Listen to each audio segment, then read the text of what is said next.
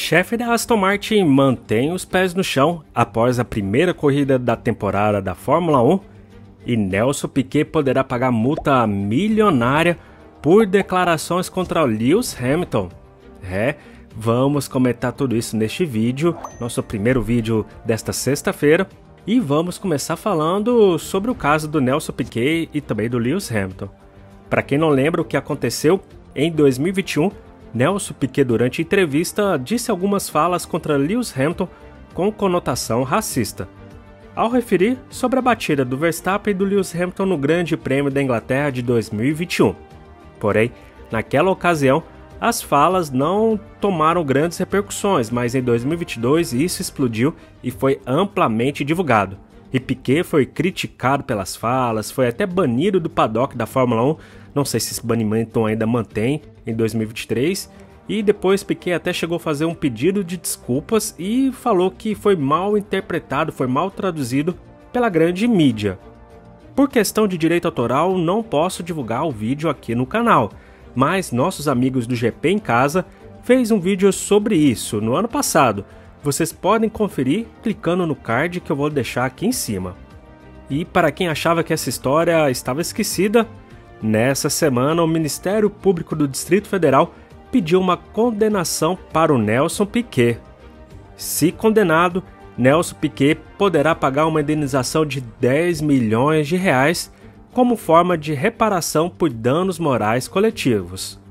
Essa ação contra Nelson Piquet foi apresentada por entidades e organizações sociais e agora a ação segue para a 20 Vara Civil de Brasília. Bom, se vocês assistiram o vídeo do GP em casa mostrando as falas, comentem aí o que, que vocês acharam das falas do Nelson Piquet. Ele disse que não teve conotação racista e pediu desculpa. Vocês acham que teve ou não teve?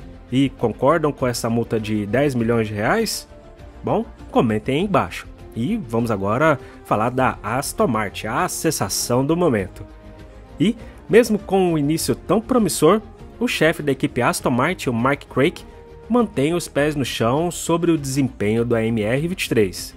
Não é que ele não acha que o carro não é bom, não, longe disso, mas afinal, quantas vezes não foi vista uma equipe indo muito bem na pré-temporada e depois no começo da temporada e depois o desempenho foi só ladeira abaixo?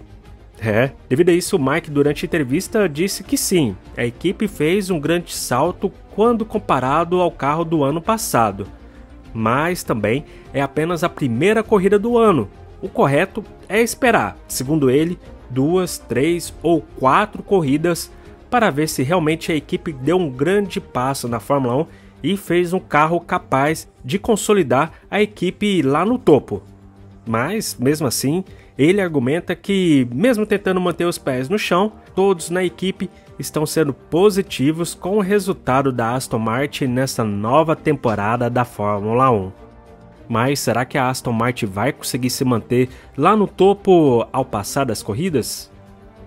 Bom, deixa a opinião de vocês aí embaixo. Eu espero que a Aston Martin possa atualizar o carro para ela continuar brigando lá no topo, não para que ela acabe perdendo desempenho ao longo da temporada. Afinal, quanto mais carros disputando, melhor para nós amantes da Fórmula 1. Bom, meus amigos e amigas, essas são as principais notícias da manhã de sexta-feira. Depois, mais tarde, se tivermos conteúdo, vamos trazer um outro vídeo para vocês com as outras notícias que foram divulgadas ao longo do dia. E se vocês estão curtindo nossos vídeos, não esqueça de deixar o seu like e também de se inscrever aqui no Point F1. Voltamos em breve, um forte abraço e tchau!